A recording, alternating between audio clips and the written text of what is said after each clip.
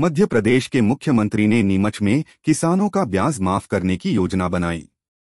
नीमच मध्य प्रदेश विधानसभा चुनाव के वर्ष में मुख्यमंत्री शिवराज सिंह चौहान ने मुख्यमंत्री किसान ब्याज माफ़ी योजना 2023 की घोषणा की, जो राज्य में ग्यारह दशमलव एक नौ लाख से अधिक किसानों को 2123 करोड़ रुपए ब्याज में चुकाने में मदद करेगी। नीमच विधायक दिलीप सिंह परिहार के अनुसार अकेले नीमच ज़िले में योजना से उन्नीस हज़ार से अधिक किसानों को लाभ होगा, क्योंकि योजना के तहत 10 करोड़ रुपए से अधिक का ब्याज माफ़ किया जाएगा। बीजेपी विधायक परिहार ने दावा किया 2018 में कांग्रेस सरकार बनने के बाद उन्होंने वादा किया था कि सरकार बनने के 10 दिनों के भीतर किसानों का 2 लाख रुपए तक का कर्ज माफ़ कर दिया जाएगा। लेकिन 18 महीने सत्ता में रहने के बाद भी कर्ज चुकाने के लिए कोई कदम नहीं उठाया गया है।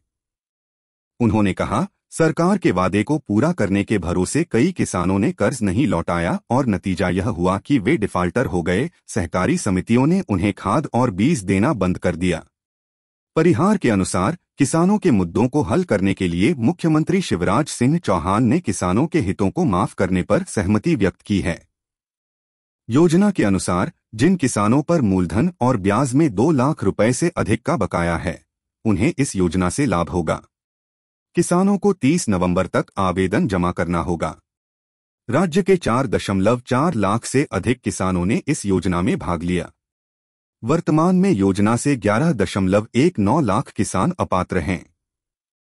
वे मूल रूप से तीन हज़ार तीन सौ छप्पन करोड़ रुपए और ब्याज में दो हज़ार एक सौ तेईस करोड़ रुपए का भुगतान करना जारी रखेंगे। दोनों को कार्यक्रम के तहत माफ़ कर दिया जाएगा।